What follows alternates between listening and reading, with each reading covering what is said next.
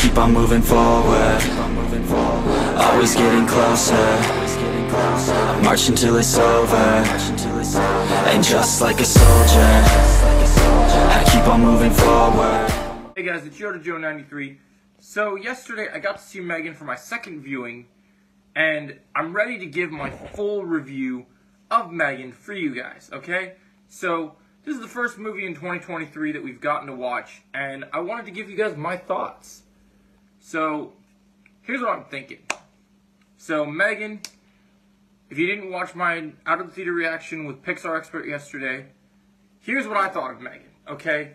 Megan is a James Wan Blumhouse, uh, basically a collaboration between the two of them, and this is more like a thriller movie than a horror movie. I see what they're trying to do with this franchise. They're trying to create a more fun Chucky type deal with like an AI Ultron kind of feeling thing, and I think it, it works for the most part. But it works more for the comedy and for the fact that it's a fun thing, not because it's scary. Megan isn't scary it's just a fun time. And I really liked that Megan was a fun time. It, it was a very good movie for being a fun time. I mean, the reviews were pretty good, um, and they lived up to the hype. I definitely was a fan of this. I think, I think Megan is one of those movies you watch beginning of the year. It's a great movie to start your year with.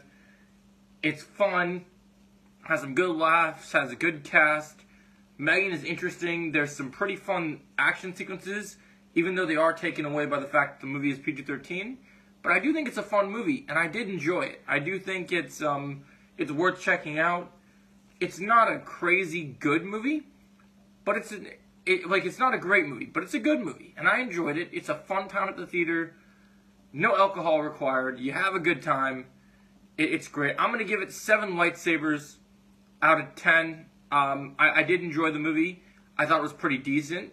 Um, Megan's fun cast is fun. It tells a heartwarming story, but also tells a dark story at times. And I really enjoyed the message within the movie. I thought it was really good, really well made.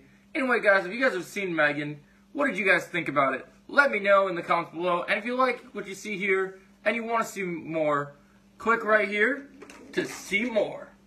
Have a great day. And just like a soldier I keep on moving forward